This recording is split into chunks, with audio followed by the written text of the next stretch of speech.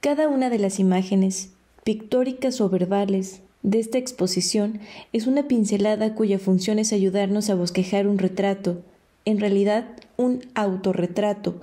Estos muros albergan una serie de espejos donde cada uno de nosotros puede percibir rasgos de su propio rostro. Las facetas de nuestra fisionomía se han ido labrando a través de los siglos.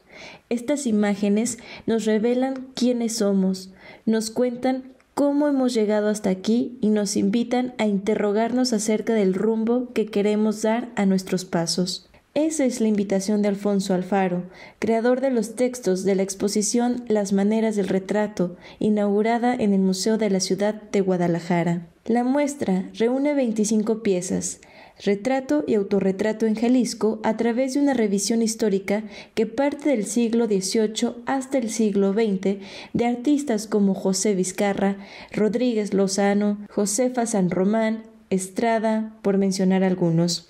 Alfonso Alfaro detalló que la investigación les llevó varios meses, así como seleccionar los rostros y las obras que ahora yacen en el Museo de la Ciudad. De alguna manera hay que encontrar piezas excepcionales y encontrar registros complementarios. Esta es una exposición que tiene retratos poéticos, pero también retratos pictóricos. Entonces hay que buscar la integración entre unos y otros. Lo más importante es encontrar piezas excepcionales, de calidad excepcional, y que puedan contar un discurso histórico, un discurso em, que pueda permitirnos entender algunas cosas sobre la ciudad misma. En la exposición, los asistentes podrán distinguir el retrato familiar, del linaje, así como de los momentos claves de la vida del hombre, la boda, la primera comunión, la muerte. Gutiérrez Aceves, curador de la exposición, compartió que como parte de la muestra se consideró como una obra más un texto de Octavio Paz. Presentamos como pieza, o sea, como una obra, un texto literario que es un retrato.